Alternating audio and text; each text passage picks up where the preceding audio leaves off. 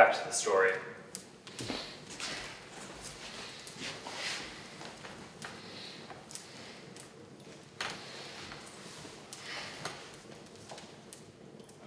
Once all the Animorphs had been acquainted with Dancer, it was time to make a plan. Dancer told them, to tell you the truth, Santa has been unusually quiet, which is strange for him especially this close to Christmas. Ordinarily at this time, we'd be reviewing flight plans daily, checking the forecast, and checking it twice. But as I told you, we reindeer tend to mind our own business out here on the ranch, except for Christmas Eve. We let the design and fabrication crews do their work. We come in for one extraordinary night of distribution. And then our payment is the freedom to live out here the rest of the year. I can take you in toward the edge of the village, but it would honestly draw attention if I wandered into town. Not to mention how much attention four human children and a hawk will draw. You'll have to morph. I don't know how inconspicuous any of our morphs will be here either, Dancer, said Cassie, back in human form, or how many could stand this cold. We'll keep our eyes open on the walk, Cassandra, said Dancer. The Christmas tree forest is full of seasonal animals that wouldn't look out of place at all in the village. Dancer led the Animorphs away from the stable where they'd spent the night and onto a narrow path into a deep coniferous forest. The evergreen trees were tall and straight, all growing as perfect pyramid shapes. Some of the trees here were as tall as, well, as tall as really tall trees. A dusting of snow weighted every branch, and the further into the woods they went, the shorter the trees became. Small, shiny objects started to appear, at first small and oblong, and then larger, circles and stars and ornaments and tinsel, Marco shouted. What is this? I told you that this is the Christmas tree forest, Marco, answered Dancer. Who does all this decorating? asked Marco. Dancer responded, Oh, of course. All of the ornaments and tinsel in the world is grown from these trees, Marco. They grow in the Christmas tree forest like fruit on your trees. Marco's eyes grew even bigger. All around, as far as they could see, were thousands of Christmas trees, each covered with ornaments and tinsel that sparkled in the light. What's that? Marco shouted. Birds! Everywhere, birds! The other animorphs followed where his finger was pointing. Sure enough, hundreds of birds were circling Christmas trees, each dangling long, rope-like objects behind them. Is that garland? he added. Yes, Marco, good eyes. The birds string garland on the new Christmas trees all year long, and I bet some of those birds would also be perfect morphs for you, Dancer said. As they began walking toward where the birds were at, there was a barely perceptible movement right in front of them, and everyone, including Dancer, jumped, slightly startled. Something had definitely just moved in front of them. But looking around, there was just the same snow and birds and Christmas trees and a snowman, Jake announced, looking visibly relieved. Something on Dancer's face was less assured.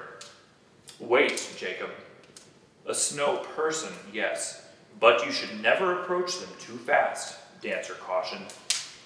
Turning to address the snow person, Dancer said, Season's greeting, friend. Please, do not let our little excursion disturb your labor. As if in slow motion, the snow person's head turned to face Dancer.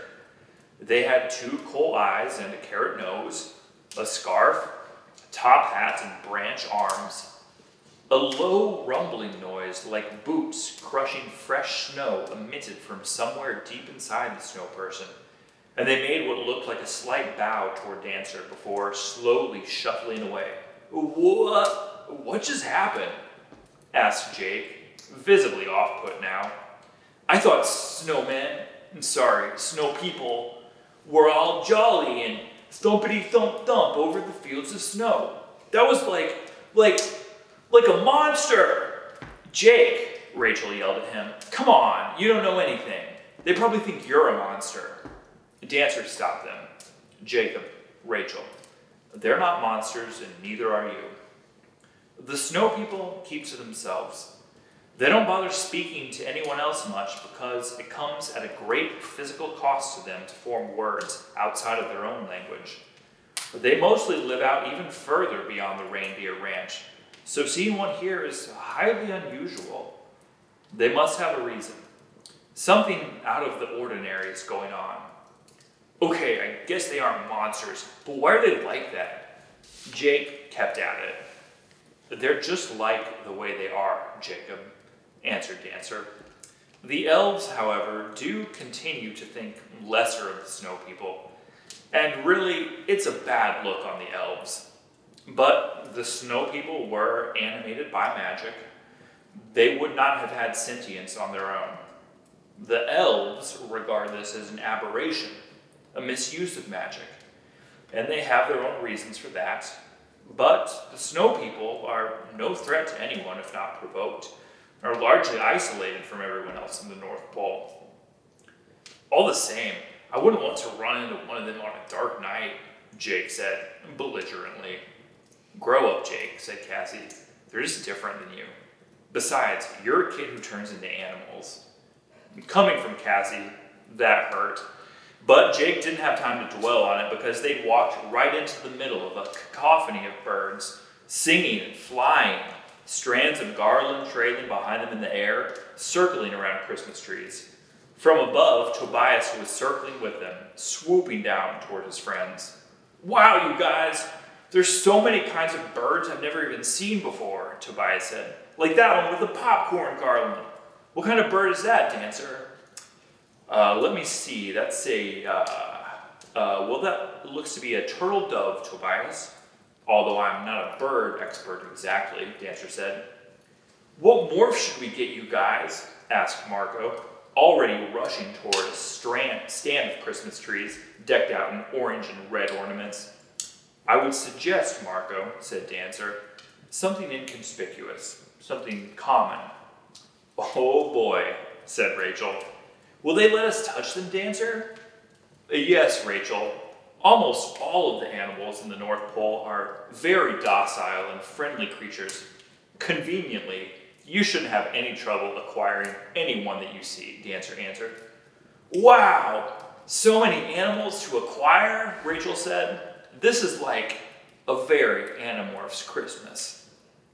And with that, the Animorphs were off among the endless rows of Christmas trees adorned with ripe ornaments, garlands swirling overhead, and flocks of birds singing all around.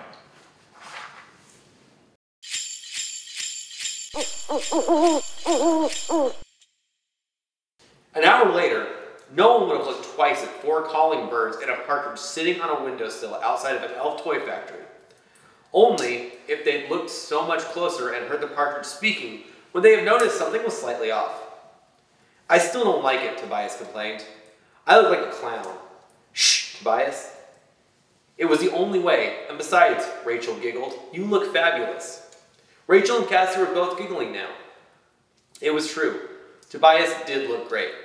They had decided that a red-tailed hawk would be conspicuous at the North Pole, but since Tobias couldn't morph into a partridge, they decorated him instead. Lots of glitter, ribbons, and garland.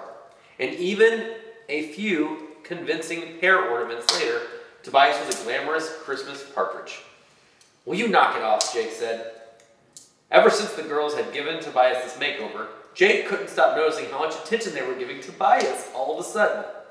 Especially since Cassie had also told him to grow up earlier. We're supposed to be spying, he continued. Okay, Jake, sure, Cassie replied. We're just saying how good Tobias looks in this morph. It's not even a real morph, Tobias sulked. It's not the same as a morph, but it's a transformation all the same, Rachel said. And who knows? Maybe that'll come in useful again. Guys, check this out, Marco said.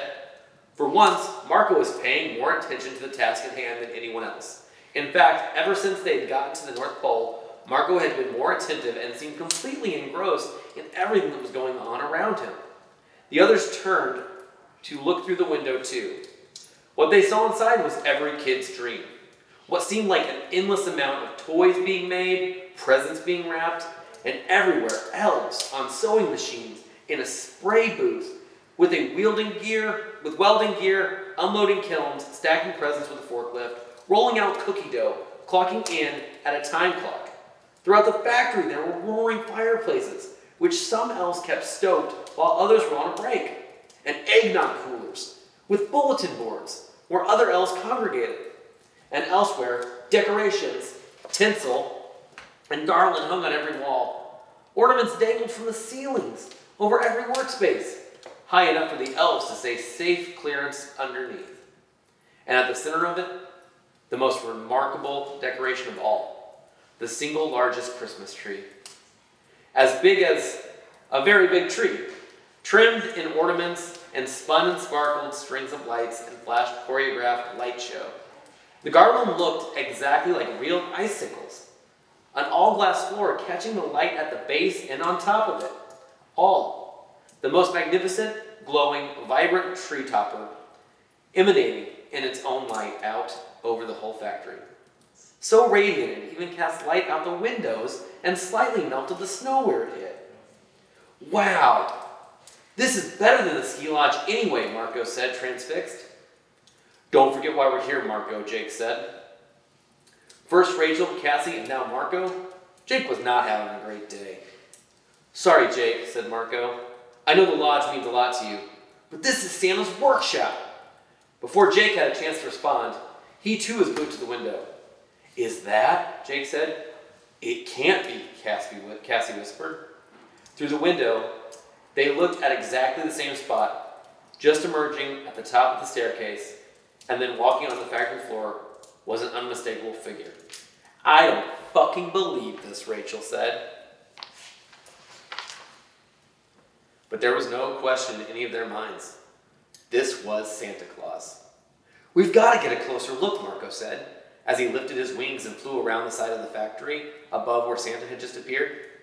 He settled onto the sill of a window with an intricate glazing pattern like a huge snowflake. As the other animals flew to join him, from where from here they had a clear view of Santa, as well as a group of elves that were keeping particularly close to him. What's the updates, Galaslo? Santa said to the nearest elf.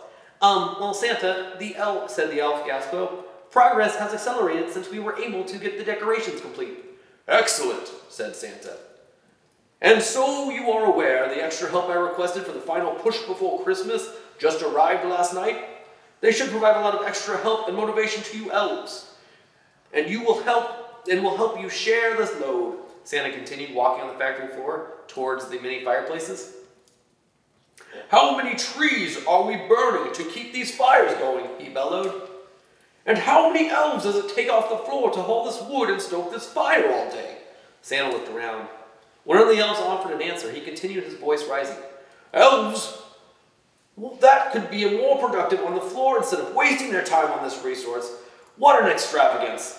Gassel instructed five elves to reduce their stroking to once a day. This is a final push, and it and if any of them have a problem with that, I'll be glad to meet them individually down in my office. Uh, yes, yes, of course, Santa. It's just, it's just we've always kept these fires blazing, especially the final week of Christmas. It keeps spirits bright, you know? Gessel said. Gessel, you told me as much, Santa replied, leaning down to look at Gessel's eyes. You told me as much about the cookie buffet, the eggnog coolers as well. I'm tired of arguing with you, Gassel, which is why I'm prompting promoting Lindnor as shop supervisor effective immediately. At that, another elf who had been keeping close behind Santa stepped forward.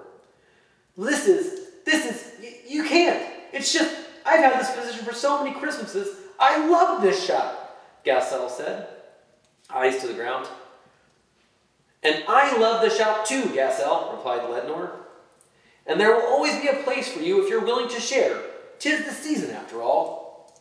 We're done here, Santa said. Gassel, punch your card on the way out and maybe reconsider what Lindor offered. I'll be down in my office. There's some work I must complete before Christmas Eve. Lednor, I want those fire elves off the clock now and relocated to production. Seize their axes so they can so they can't chop any additional wood tonight, and remind them they're all invited to share in the work at any time. At that, Santa turned back towards the staircase where he'd entered before disappearing out of sight. Still surrounded by a couple dozen elves, a few who remained positioned at the top of the stairs. The Animorphs watched as Lednor headed towards the fire elves, who were enthusiastically stroking the, the fireplace. What the fuck was that? Rachel asked. Why the fuck wouldn't Santa want fucking fires and cookies? Jake responded, I'm not sure if he has a reason, Rachel. I mean, 20 minutes ago, I didn't even think Santa was real. And now that we've seen him, you're questioning how he operates? Rachel's right, Jake. That was fucking weird, said Cassie. I gotta agree with Jake. That was Tobias. And what did he mean by extra help? You don't think he stopped there. Jake did think exactly what Tobias was about to say, and so did everyone else. When Santa had that extra help had arrived last night, they all thought about Tom and the sharing. But what did it mean? It wasn't like Tom knew anything about making toys or helping elves. The others noticed that Marco was unusually quiet, still intensely focused on the factory floor. What's up, Marco? asked Tobias. It's these fire elves, Marco said, staring through the window. They threw their time cards into the fire, and now they've all linked arms and are marching together towards the door. As Marco described the scene, the others looked in, and sure enough, at least 50 fire elves had linked arms and elbows in a group of 12, of a group of 10 or 12, and were walking past their huge Christmas tree towards the two large arched wooden doors at the far end of the factory. And then, to the Animorphs' disbeliefs, other elves started forming a mass on both sides of the fire elves, shouting at them. And these other elves looked mad. They were already shouting when, from somewhere in the mob, a toy block was thrown at the fire elves, then another, then anything. Pieces of cookies, ornaments, a handful of rivets, a roll of scotch tape. But the fire elves were undeterred. Their chain were unbroken. Their gazes fixed on only the exit, and they continued to march. The mob of angry elves grew, even as some remained at their workstation, but the fire elves took all the abuse that was hurled at them. Finally, they made it to the doors, walked through the threshold,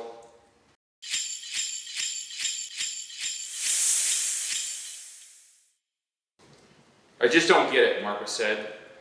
They were back on the other side of the Christmas tree forest with Dancer again. Why would all these other elves turn on the fire elves? Don't they want to have their fireplaces blazing too? Some even had chestnuts roasting. The fire elves were just doing their job. They didn't have a choice, Marco, said Jake. You heard Santa. He wanted them relocated to work production. But that's not their job, Jake, replied Rachel, working it over in her head. They shouldn't be forced to do work that they're not obligated to do. And if someone tries to make them, even Santa, they should be able to stand up to them. Troubling, troubling, said Dancer. This isn't like Santa at all. What I would like to know, though, is what's down that staircase you mentioned. Though I haven't spent much time in the factory, I'm certain there is a never a lower level. That's where we've got to get into, Cassie said. It sounds like that's where Santa is spending a lot of his time.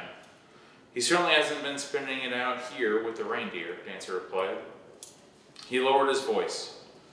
While you were in the village this morning, I got in touch with Mrs. Claus. It's a gross breach of etiquette for a reindeer, but I didn't see any other way. Dancer looked all around him as if anyone could be spying, and lowered his voice even more so that the Animorphs had to lean in to hear him. Mrs. Claus said Santa hasn't been home in over a week. All the Animorphs gasped, and Dancer continued. Last she saw him, it was in the middle of the night, and he was sneaking around their own chimney. When she asked him what he was doing, he froze and said to her, Tis the season, and then vanished up the chimney, and he hasn't been back home since. Now, this news from you all, and Christmas Eve tomorrow. I'd say we have to act and fast. Marco broke the silence. Jake, do you remember? Jake just nodded, thinking the same thing. He paused before speaking, just as quietly as Dancer had. The last night in the cabinet, after we overheard Tom talking on the phone, he came back into the den looking like a zombie. He said the same thing to us. Tis the season. What does it mean, Dancer? Dancer shook his head, indicating he was clueless about this to the rest of them. Cassie said, You guys, that basement, we've got to get in and see Santa's doing down there. You're right, Cassie. And Jake, he was glad they were on the same page again. And we need to get going now. We can use some of our bird morphs again. I saw several birds still stringing garland inside the factory anyway. I'll fly the factory with you, but I'm not sure I want to blow my cover inside with my disguise, Tobias said. He'd kept the partridge look after all the compliments from Rachel and Cassie. Okay, let's get moving, Marco said. Wait a minute, that was Rachel not moving. What about those fire elves? They got fucked today, and are we just gonna forget about them? Rachel, I just don't know that we have time, Jake said. It's already getting dark out. Dancer interjected. I believe that you're right, Rachel.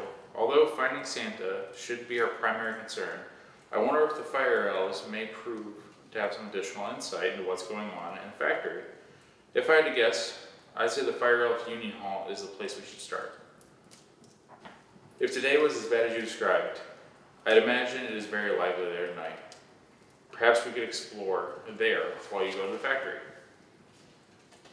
Right, yes, I'm going, Rachel said in a way that everyone knew not to argue with.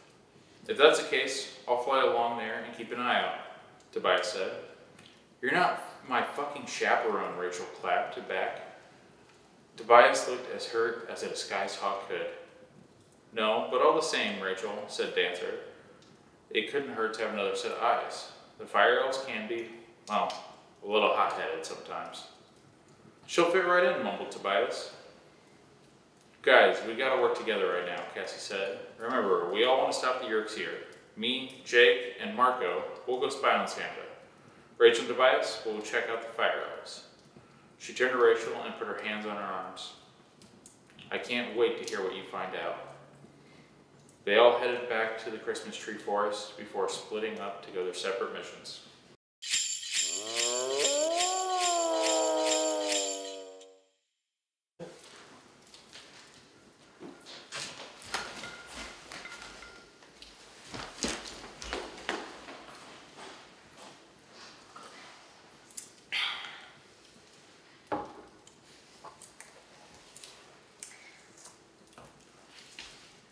7 The toy factory was mostly empty and dark now, except for the lights from the decorations and all over the massive Christmas tree. From where they'd settled on top of a silver pinecone shaped ornament hanging from the ceiling, Cassie, Jake, and Marco had a clear view of the staircase heading downstairs. Every so often, they could hear fragments of songs from other birds roosting around the building. The three French hen morphs they'd chosen blended in perfectly. Okay, there's just a handful of elves near the stairs, and they don't seem to be paying a lot of attention, Marco whispered. He was right. Five or six elves who had previously been positioned at the top of the stairs were now reclining in chairs around the nearest eggnog cooler. The Animorphs could hear the elves' conversation. That Santa is a tough one, huh? One of the elves said. What are we up to? An hour at a time, tops? Another elf replied, Yeah, maybe 15, an hour 15, but no one can last longer than that yet, and we've been at it for over a week. This elf looked around. I just hope Visser Claus knows what he's doing. The first elf snapped back. Of course Visser Claus knows what he's doing. I should report you for even suggesting he might not. Okay, okay, the second elf replied defensively. Of course he knows what he's doing. It's just that we were supposed to get in here, get the necessary hosts, and be done before Christmas. Now he's bringing in reinforcements from who knows where, right before Christmas Eve? This has to be done, or we've completely missed the opportunity that only comes but once a year. The elf went back to sipping a mug of eggnog. The first elf was visibly agitated and stood up to pace around in a small circle. Did you hear that? Marco whispered again. More talk about bringing in reinforcements for the final push. That's got to be the sharing, Cassie replied. And what about Visser Claus? Do you think that's, you know, Visser 3? That name can't be a coincidence. From another ornament in the factory, several birds spontaneously, spontaneously broke out into Carol of the Bells. Below, the small group of elves were filling their mugs up with more eggnog. A different elf from before had an arm around yet another elf and was saying, You know, these elves are the littlest hosts we've ever had. They're good for me. I like the elves. Those two elves sat down near a fireplace, mugs of eggnog almost spilling, as they barely kept a grasp on them. What's up with those elves? Jake asked. I don't know, but I'd say we'd better get going. Only so much time before we have to morph, Cassie replied. All right, Marco said. I'm going to sing a Christmas song too and fly down there. You guys follow my lead. With that, Marco lifted his wings, circled the ornament twice, and began a French hen cover of All I Want for Christmas Is You. Nice, Jake said, swooping down behind Marco and joining him singing. Cassie remained perched on the ornament and rolled her eyes as she watched Marco and Jake descend for the staircase, still in the song's intro. Whatever, she said to herself, flying down to join them just as they got to the main verse. Flying well over the elves' heads, three French hens landed on the banister of the staircase, already halfway down the first flight of stairs. The greenery and other decorations abruptly stopped below the first landing where the staircase turned to descend further. Cassie started around the corner, then said to Jake and Marco, You guys can't stop now, okay? We're trying to be inconspicuous here. Jake and Marco both abruptly stopped singing right before they got to the first big, You, you baby. they took a quick look at each other, confirming what they both knew but would never admit. Mariah Carey was unquestionably both of their huge crushes. The three of them continued down the staircase until it gave way to a single, crudely formed set of stairs, carved out of the dirt and rock below. This is starting to remind me of a bad place, Cassie said, and Jake and Marco knew exactly where she meant. Down a staircase from their middle school, they discovered a Yeerk lair underneath their entire town, where the Yeerk recharged their bodies and held their hosts hostage. I don't know what we're going to see down there, guys, Cassie continued, but we've got to stick together, and we've got to get out in time. Jake and Marco nodded. They both knew what she meant. After all, they still hadn't seen Tom and the rest of the sharing in the North Pole, but they'd seen them all in the Yeerk pool back home. They braced themselves and turned the last corner, entering into a cavernous underground space, illuminated only by light shining through light wells in the ceiling. And in front of them, a familiar sight, pools steaming as the warm water hit the cool air like a sauna. Hork-Bajir, the peaceful aliens controlled by the Yeerks, patrolled the area, forcing the elves toward the pools, where a Yeerk slug would drip out of the elves' heads and into the water. Off to one side, cages held elves, screaming, demanding their release. Among the elves, a few dozen others, Hork-Bajir, humans, and Tom. At the opposite side, dozens of humans lounged in a separate sauna with drinks and snacks in hand. The Animorphs knew who these were, the Sharing's human members who had willingly given their brains to the Yeerks for controlling, co-conspirators in their plan to dominate the universe. All of a sudden, three festive French hens felt very conspicuous in this very un-Christmas-like cavern. We've got to get cover, Marco said, catching a quick glimpse of Jake, who had his eyes locked on Tom. Over to the right. Maybe we can work our way behind the cages and maybe get some intel. He started scooting that way. Come on, Jake. You doing all right? Cassie asked. We need to get out of sight. She gave Jake a slight shove to get him started and kept close behind him as they crept along the edge of the wall. French hens, while not the showiest of seasonal birds, still stuck out down there, where the only hint of the holidays was the clothes the imprisoned elves wore. No sign of Santa yet, Cassie whispered when they caught up to Marco. They were crouched behind a pile of loose rocks and tools that looked as if they'd been left behind after digging out this chamber. The cages were still another 20 feet or so away, and the Hork-Bajir patrolled with some regularity. I've got to get him, Jake said, still focusing his gaze on Tom. I can get him. He doesn't have that Yeerk in his head right now. Cassie and Marco knew better than that. Jake, remember what we're here for right now. We still don't know what's going on completely and why the sharing's here to begin with. Cassie said to him, Right now, we're trying to find out what's going on with Santa. Then we can help Tom. Right now, we just put him at more risk, too. How's that snowboarding trip now? Marco said. Even though he was more engaged in the mission, he could still put his foot in his mouth.